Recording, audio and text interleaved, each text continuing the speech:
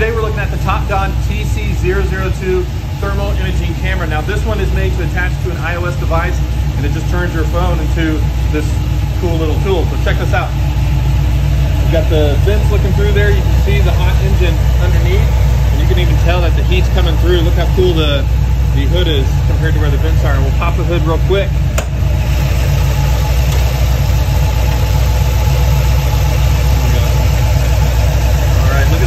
headers.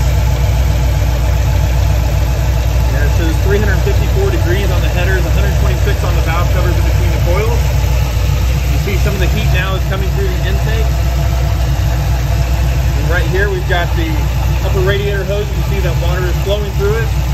And even the steam vent is working. It's filling the reservoir. And look at that. We've got a lot of heat on the headers and the valve covers in there.